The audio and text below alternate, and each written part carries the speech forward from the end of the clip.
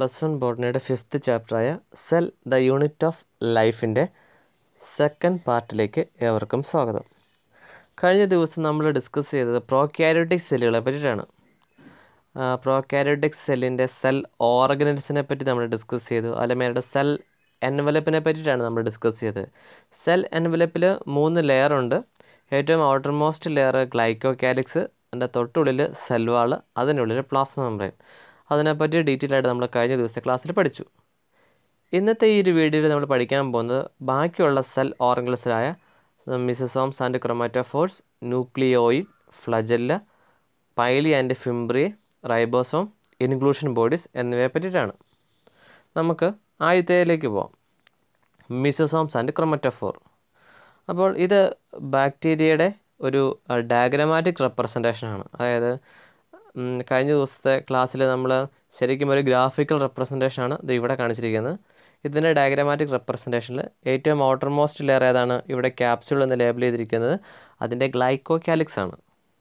അതിന് തൊട്ടുള്ളിൽ കാണുന്ന ഈ ഡാർക്ക് ബ്ലാക്ക് കളർ കാണുന്ന സെൽവാൾ അതിന് ഉള്ളിൽ കാണുന്ന ആ തിന്നായിട്ടുള്ള ബ്ലാക്ക് ആണ് ഏത്? പ്ലാസ്മ മെമ്പറി ഓക്കെ അപ്പോൾ ഈ മീസോസോം എന്ന് പറയുന്നത് ഈ പ്ലാസ്മ മെംബ്രെയിന്റെ ഇൻഫോൾഡിങ്ങിനെയാണ് മിസോസോം എന്ന് പറയുന്നത്. അപ്പോൾ നിങ്ങൾക്ക് ഇവിടെ റെഡായിട്ട് റൗണ്ടിൽ കാണിച്ചിട്ടുണ്ട്. ആ പ്ലാസ്മ മെംബ്രെയിൻ എന്ത് ചെയ്തേക്കുക സൈറ്റോപ്ലാസത്തിന്റെ ഉള്ളിലേക്ക് ഈ കാണുന്നതാണ് സൈറ്റോപ്ലാസം. ഈ സൈറ്റോപ്ലാസിന്റെ ഉള്ളിലേക്ക് ചില ഇൻഫോൾഡിംഗ് ആയിട്ട് രൂപാന്തരപ്പെട്ടേക്കുവാണ് അല്ലെങ്കിൽ ഫോം ചെയ്തേക്കുവാണ്. അപ്പോൾ അങ്ങനെയുള്ള ഇൻഫോൾഡിങ്ങിന് പറയുന്ന പേരാണ് മീസോസോംസ്. അത് ചിലപ്പോൾ വെസിക്കിളായിട്ടായിരിക്കും ട്യൂബ് പോലെ ആയിരിക്കും ഇല്ലെങ്കിൽ ലെമല്ലെ പോലെ ആയിട്ടായിരിക്കും. അപ്പോൾ നമ്മൾക്കത് വെസിക്കിൾസ് ട്യൂബ്യൂൾസ് ആൻഡ് ലെമല്ലെ എന്നിങ്ങനെ നമുക്ക് മീസസോമിനെ മൂന്നായിട്ട് തരംതിരിക്കാം. അപ്പം മെയിനായിട്ടും മീസസോം എന്ന് പറയുന്നത് ഈ പ്ലാസ്മ മെംബ്രൈന്റെ ഇൻഫോൾഡിങ്ങിന് പറയുന്ന പേരാണ് മീസസോംസ് ഇനി മീസസോംസിന്റെ ഫങ്ഷൻ എന്താണെന്ന് നോക്കാം.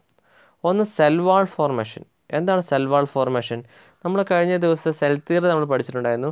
New cells are arising from pre existing cells already existing ആയിട്ടുള്ള ഒരു സെല്ലിൽ നിന്നും അല്ലെങ്കിൽ പഴയ ഒരു സെല്ലിൽ നിന്നുമാണ് പുതിയ രണ്ട് സെല്ലുകൾ ഉണ്ടാവണേ എന്ന് നമ്മൾ പഠിച്ചു. അപ്പോൾ ഇതൊരു സെല്ലാണ് ഇത് മറ്റൊരാകുമ്പോൾ എന്ത് സംഭവിക്കുന്നത് വെച്ചാൽ ഈ മിസോസോംസ് ഇവിടെ ഒരു മിസോസോംസ് ഉണ്ട്. ഇവിടെ ഒരു മിസോസോംസ് ഉണ്ട്. ഈ മിസോസോം കൂടാതെ ഈ ഓപ്പോസിറ്റ് സൈഡിൽ നിന്നും ഒരു ചെറിയ മിസോസോംസ് പ്രൊഡ്യൂസ് ചെയ്യും. എന്ത് ചെയ്യും ഈ രണ്ട് മിസോസോംസ് എന്ത് ചെയ്യും വലുതാവും. വലുതായി വലുതായി വലുതായി ഇവരെന്ത് ചെയ്യും ഇവിടെ കൂട്ടിമുട്ടും. ഇങ്ങനെ മിസോസോംസ് കൂട്ടിമുട്ടും. അതിന് നമ്മൾ പറയുന്നത് സെൽവാൾ ഫോർമേഷൻ എന്ന് പറയുന്നത് അപ്പോൾ സെൽവാൾ ഫോർമേഷൻ ഇൻവോൾവ് ആയിട്ട് ഹെൽപ്പ് ചെയ്യുന്നതാണ് മിസോസോംസ് അപ്പോൾ രണ്ട് സെല്ലായിട്ട് മാറി. അപ്പോൾ രണ്ട് ഡോട്ടർ സെല്ലായിട്ട് മാറി. ഒരു സെല്ല് എന്ത് ചെയ്തു? പ്രീ എക്സിസ്റ്റിംഗ് ആയിട്ടുള്ള സെല്ല് രണ്ട് ഡോട്ടർ സെല്ലായിട്ട് ഫോം ചെയ്യാൻ പോവുകയാണ്. അതിന്റെ ഫസ്റ്റ് സ്റ്റെപ്പാണ് ഈ സൽവാൾ ഫോർമേഷൻ അപ്പോൾ എന്ത് ചെയ്തു? സെൽവാൾ ഫോം ചെയ്തു. സൽവാൾ ഫോം ചെയ്യാൻ വേണ്ടിയിട്ട് ഈ മിസോസോമാണ് ഹെൽപ്പ് ചെയ്യുന്നത്. Next D N A replication ഇതിനകത്ത് ഒരു ജെനറ്റിക് മെറ്റീരിയൽ മാത്രമേ ഉള്ളൂ ഒരു ന്യൂക്ലിയർ മെറ്റീരിയൽ മാത്രമേ ഉള്ളൂ. അപ്പോൾ ഡോട്ടർ സെല്ലാകുമ്പോഴത്തേക്കും മറ്റേ സെല്ലിലും എന്ത് വേണം? ജെനറ്റിക് മെറ്റീരിയൽ വേണം. അപ്പോൾ എന്ത് ചെയ്യും? ഇങ്ങോട്ടും ഒരു ജെനറ്റിക് മെറ്റീരിയൽ പ്രൊഡ്യൂസ് ചെയ്യണം. അതിനാണ് നമ്മൾ ഡി എൻ എ റെപ്ലിക്കേഷൻ എന്ന് പറയുന്നത്. ഈ ന്യൂക്ലിയർ മെറ്റീരിയലിന്റെ എക്സാക്റ്റ് കോപ്പി ഉണ്ടാക്കണം. ആ കോപ്പിക്ക് പറയുന്ന പേരാണ് കോപ്പി എടുക്കുന്നതിന് പറയുന്ന പേരാണ് നമ്മൾ ഡി എൻ എ റെപ്ലിക്കേഷൻ എന്ന് പറയുന്നത്. അപ്പോൾ എന്താ ആ ഒരു ഡി എൻ എക്ക് അതേപോലെ തന്നെ സിമിലർ ആയിട്ടുള്ള എക്സാക്റ്റ് കോപ്പി ആയിട്ടുള്ള വേറൊരു ഡി എൻ നമ്മൾ ഉണ്ടാക്കിയെടുക്കും. ആ പ്രോസസ്സിന് പറയുന്ന പേരാണ് ഡി എൻ എ റെപ്ലിക്കേഷൻ. അതിനും ആര് ഹെൽപ്പ് ചെയ്യും? മിസ്സസ് ഹോംസ് ഹെൽപ്പ് ചെയ്യും. Then third point for distribution of chromosomes to daughter cells അപ്പോൾ രണ്ട് ഡോട്ടർ സെൽസ് ഇതൊരു ഡോട്ടർ സെല്ലാണ് ഇത് വേറൊരു ഡോട്ടർ സെല്ലാണ് അപ്പോൾ ഈ രണ്ട് ഡോട്ടർ സെല്ലിലേക്കും ഈക്വലായിട്ട് ക്രോമസോംസ് ഡിസ്ട്രിബ്യൂട്ട് ചെയ്യണം. അതിനും ആര് ഹെൽപ്പ് ചെയ്യുന്നുണ്ട്? നമ്മുടെ ക്രോ മിസസോംസ് ഹെൽപ്പ് ചെയ്യുന്നുണ്ട്. ലേറ്റർ എന്ത് ചെയ്യുന്നു വെച്ചാൽ ഈ ഓരോ ഇത് ഒരു ഡോട്ടർ സെല്ലായിട്ട് സ്പ്ലിറ്റ് ചെയ്ത് പോവും. ഇത് വേറൊരു ഡോട്ടർ സെല്ലായിട്ട് സ്പ്ലിറ്റ് ചെയ്ത് രണ്ട് കുഞ്ഞ് ഡോട്ടർ സെല്ലായിട്ട് മാറുകയാണ് ചെയ്യുന്നത്. പിന്നെ അതിന്റെ നാലാമത്തെ ഫംഗ്ഷൻ മിസസോമിന്റെ നാലാമത്തെ ഫംഗ്ഷൻ എന്ന് പറയുന്നത് റെസ്പിറേഷൻ ആൻഡ് സെക്രീഷൻ റെസ്പിറേഷനും സെക്രീഷനും ഹെൽപ്പ് ചെയ്യുന്നു. അഞ്ചാമത്തെ അതിന്റെ ഫംഗ്ഷൻ എന്ന് പറയുന്നത് ഇൻക്രീസ് സർഫസ് ഏരിയ ഈ പ്ലാസ്മ മെമ്പറേന്റെ സർഫസ് ഏരിയ കൂട്ടുക. അപ്പം ഇവിടെ ഒരു മിസോം ഉണ്ടെന്ന് വിചാരിക്കുക. ഇവിടെ വേറെ ഒരെണ്ണമുണ്ട് ഇവിടെ ട്യൂബ്യൂൾ പോലെ ഒരു മിസോം ഉണ്ട്. ഇവിടെ വേറൊരു മിസോം ഉണ്ട്. ഇങ്ങനെ ഓരോ മിസോം ഈ പ്ലാസ്മ മെമ്പറയിൽ നിന്ന് എറൈസ് ചെയ്യാൻ നേരത്തെ ഉണ്ടാകുമ്പോൾ എന്ത് ചെയ്യും? ഈ പ്ലാസ്മ മെമ്പറേന്റെ സർഫസ് ഏരിയ കൂടു കൂടുകയാണ് ചെയ്യുന്നത്. അതുവഴി ഇവർക്ക് വേറെ എൻസൈമാറ്റിക് എൻസൈമാറ്റിക് ആയിട്ടുള്ള ആക്ടിവിറ്റിയോ വേറെ റിയാക്ഷൻ ചെയ്യാനുള്ള സ്പേസ് കൂടും. സ്പേസ് കൂടാൻ നേരത്തെ അത്രയും കൂടുതൽ ആക്ടിവിറ്റി ആ ഒരു സെല്ലിന് പെർഫോം ചെയ്യാൻ പറ്റും. ഇത്രയും കാര്യങ്ങളാണ് മീസസോമിനെ പറ്റി പറയാനുള്ളത്. ഇനി ക്രൊമാറ്റോഫോർ എന്ന് പറയുന്നത് ഇതേപോലെ തന്നെ ആയിട്ടുള്ള ഇൻഫോൾഡിങ് പ്ലാസ്മ മെമ്പറൈന്റെ ഇൻഫോൾഡിങ് ആണ്. പക്ഷേ അതിനൊരു എക്സ്ട്രാ ആയിട്ട് അതിനൊരു പിഗ്മെന്റ് ഉണ്ട്.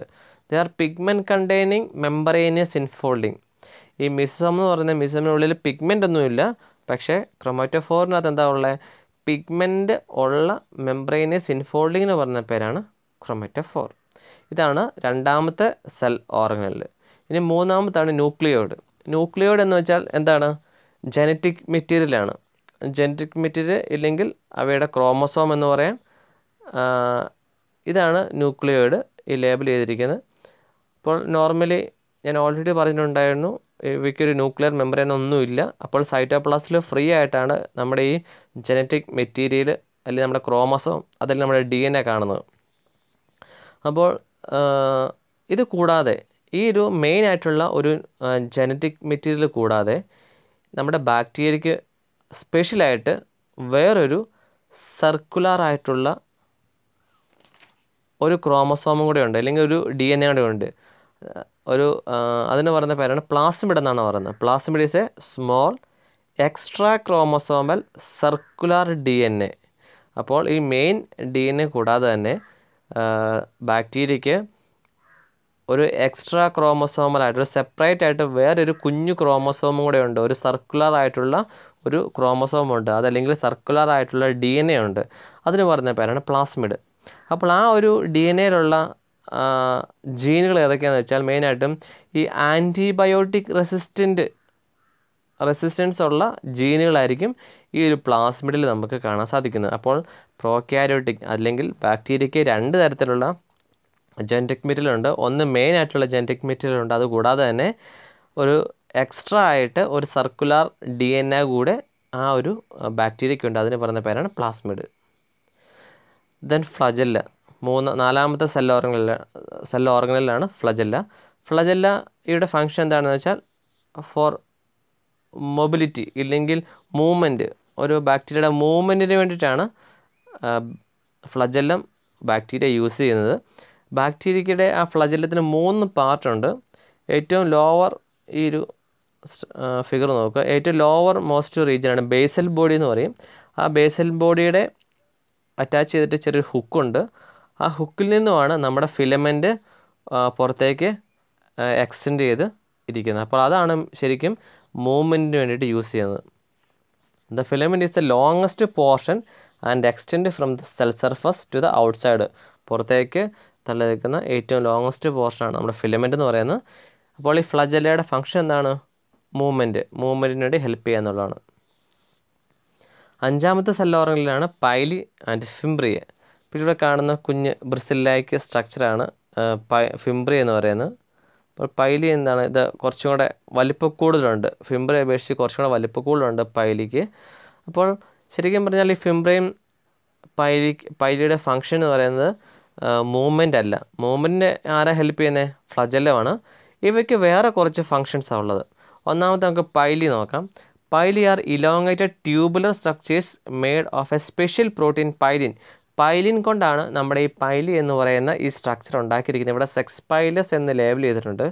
അപ്പോൾ ഈ പൈലിയുടെ ഉപയോഗം എന്താണെന്ന് വെച്ചാൽ അല്ലെങ്കിൽ ഈ സെക്സ് പൈലസിന്റെ ഉപയോഗം എന്താണെന്ന് ചോദിച്ചാൽ ഈ ബാക്ടീരിയ സെക്ഷൽ റിപ്രൊഡക്ഷന്റെ സമയത്ത് ഈ ജനറ്റിക് മെറ്റീരിയലിനെ ഒരു ബാക്ടീരിയയിൽ നിന്ന് വേറൊരു ബാക്ടീരിയയിലേക്ക് കടത്തിവിടാൻ വേണ്ടിയിട്ടാണ് നമ്മൾ സെക്സ് പൈലസ് എന്ന് പറയുന്ന സ്ട്രക്ചർ ഉപയോഗിക്കുന്നത്. അപ്പോൾ സെക്ഷൽ റിപ്രൊഡക്ഷൻ ഇൻവോൾവ് ആയിട്ടുള്ള സ്ട്രക്ചർ ആയതാണ് നമ്മളതിനെ സെക്സ് പൈലസ് എന്ന് പറയുന്നത്. Next fimbriae they are small bristle like fiber sprouting out of the cell in some bacteria they help to attach bacteria to rock and to host tissue ഈ റോക്കിൽ attach ചെയ്യുക ഇല്ലെങ്കിൽ അതിൽ host ടിഷ്യൂവിൽ attach ചെയ്യുക. Attachment എന്ന് പറഞ്ഞ ഫങ്ഷനാണ് ഫിംബ്രിയെ perform ചെയ്യുന്നത്. ഇനി നെക്സ്റ്റ് റൈബോസോം റൈബോസോം എന്ന് പറയുന്ന സ്ട്രക്ചർ നോർമലായിട്ട് നമ്മുടെ പ്രോക്യാരിയോട്ടിന്റെ സൈറ്റോപ്ലാസത്തിൽ ഫ്രീ ആയിട്ട് ഡിസ്പേസ് ചെയ്ത് കാണുന്നത് ഫ്രീ ആയിട്ട് കാണും. അതായത് ഇതാണ് നമ്മുടെ സൈറ്റോപ്ലാസം ഈ കാണുന്നതാണ് നമ്മുടെ സൈറ്റോപ്ലാസം ഈ ലിക്വിഡ് പോർഷനാണ് സൈറ്റോപ്ലാസം ആ സൈറ്റോപ്ലാസിൽ നമ്മൾ നോക്കാൻ നേരത്ത് ഈ റൈബോസോം ഫ്രീ ആയിട്ട് കാണും. മെയിനായിട്ടും ഈ റൈബോസോമിന് രണ്ട് സബ് യൂണിറ്റ് ഉണ്ട്. ഒരു സ്മോൾ സബ് യൂണിറ്റ് ഉണ്ട് ഒരു ലാർജ് സബ് യൂണിറ്റ് ഉണ്ട് അപ്പോൾ ഈ രണ്ട് സബ് യൂണിറ്റും സെപ്പറേറ്റ് ആയിട്ടാണ് നമ്മുടെ സൈറ്റോപ്ലാസ്റ്റിൽ കാണുന്നത്. ചില സമയത്ത് അത് സെപ്പറേറ്റ് ആയിട്ട് കാണും. ചില സമയത്ത് ആ രണ്ട് സബ് യൂണിറ്റും കൂടെ യുണൈറ്റ് ചെയ്തിട്ട് ഒരു സിംഗിൾ സ്ട്രക്ചറായിട്ട് നമുക്ക് കാണാൻ സാധിക്കും. അപ്പോൾ നമ്മൾ നോക്കാൻ നേരത്ത് ആ സ്മോൾ സബ് യൂണിറ്റിൽ തേർട്ടി എസ് എന്ന് എഴുതിയിട്ടുണ്ട്. തേർട്ടി എസ് എന്ന് പറയുന്നത് ഇവിടെ എസ് എന്താണെന്ന് കൊടുത്തിട്ടുണ്ട്? Sedimentation coefficient a measure of density and size സൈസിന്റെയും ഡെൻസിറ്റിയുടെയും ഒരു മെഷറിനെയാണ് നമ്മൾ എസ് എന്ന് പറയുന്നത്. ഇത് വളരെ മൈന്യൂട്ട് ആയിട്ടുള്ള സബ്സ്റ്റൻസ് ആണ്. നമ്മുടെ സെല്ലിനുള്ളിൽ കാണുന്ന വളരെ മൈന്യൂട്ട് ആയിട്ടുള്ള സബ്സ്റ്റൻസ് ആണ്. അതിന് ഒരു മെഷർമെന്റ് നമ്മൾ കൊടുക്കുക നമ്മുടെ സെഡ്ബർഗ് യൂണിറ്റിലാണ് നമ്മൾ അതിന്റെ മെഷർമെന്റ് പറയുന്നത്.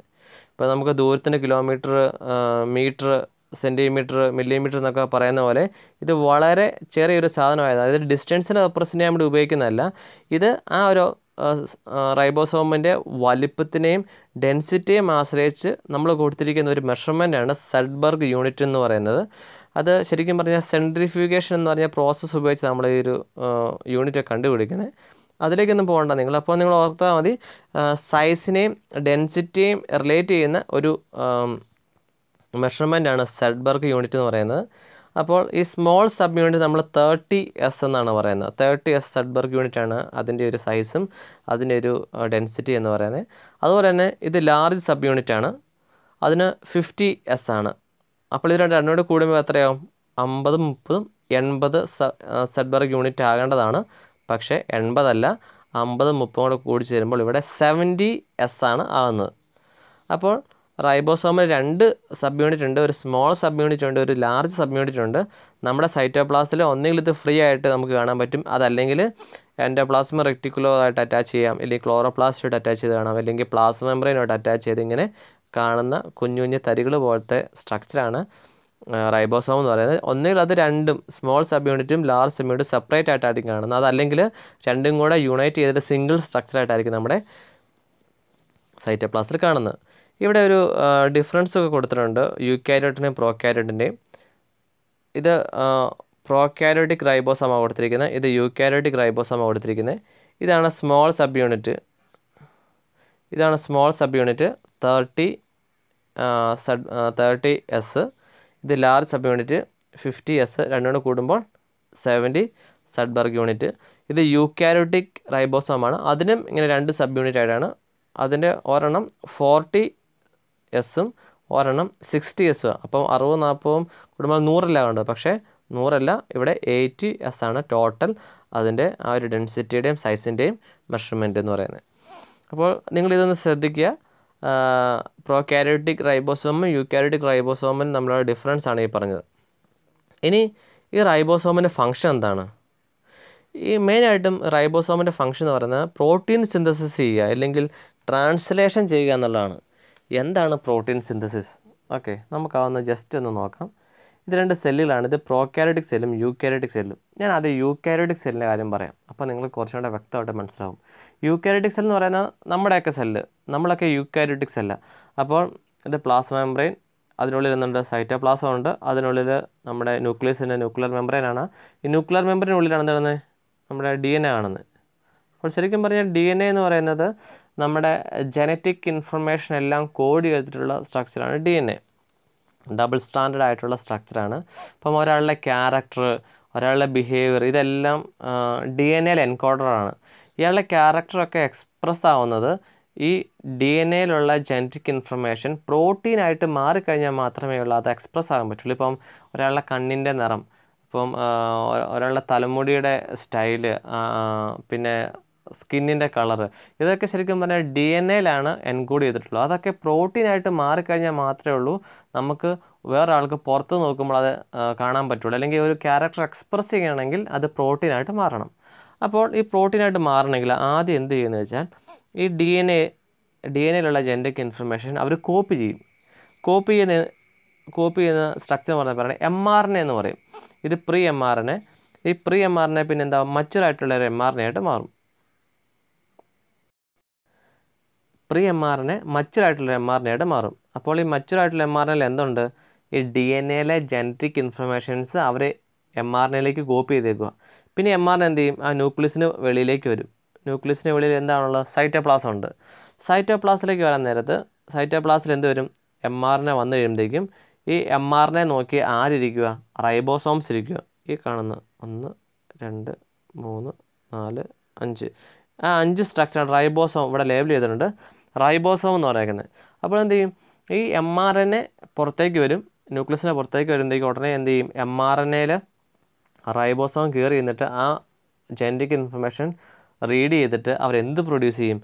അവർ പ്രോട്ടീൻ പ്രൊഡ്യൂസ് ചെയ്യും. ഇതുണ്ടോ? ഓരോ കുഞ്ഞു കുഞ്ഞു വാൽ കണ്ടോ?